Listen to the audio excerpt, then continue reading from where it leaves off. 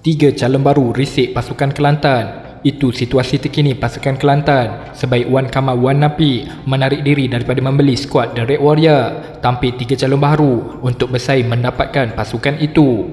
Umpama pisang goreng panas, perkembangan terbaru itu nyata melegakan pengurusan Persatuan Bola Sepak Kelantan KAFA yang kini bergelut mencari pembeli untuk membantu meringankan beban pasukan sekaligus melengkapkan proses perswastaan skuad Cik Siti Wan Kembang itu. Daripada tiga calon berkenaan, satu daripadanya usahawan burger dan pemilik rangkaian hotel Nurizam Tukirman atau lebih dikenali sebagai Zam Saham.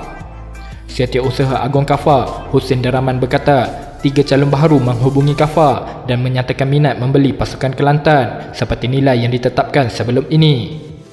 Pada mesyuarat khas Rabu lalu, Kafa menetapkan tanda harga 3 juta ringgit buat mana-mana pihak yang berhasrat membeli Kelantan FC serta bayaran royalti 1 juta ringgit setahun. Selain itu, keuntungan jualan tiket perlawanan, jersey, cenderamata dan geran tahunan Liga Malaysia adalah hak pemilik pasukan.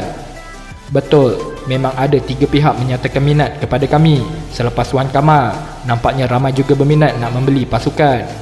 Kami akan berunding dengan mereka dan syarat pembelian sama seperti yang dimaklumkan sebelum ini, kata Hussein Deraman. Jelasnya lagi, isu royalti yang dibangkitkan Wan Kamal berkenaan campur tangan pihak KAFA dalam pengurusan pasukan tidak tepat kerana pemilik baru ada kuasa penuh kepada pasukan. Sebab itu, kita nak cari pembeli apabila pemilik baru itu ada 100% saham dalam pasukan bayaran royalti itu hanya untuk kafa bergerak melakukan pembangunan bola sepak di peringkat negeri Kelantan jika nilai 1 juta setahun itu tinggi kami boleh bincang lagi. Sekarang kami terbuka untuk berbincang dengan pembeli lain demi kebaikan pasukan dan pemilik baru kata Hussein Daraman. Ujarnya lagi.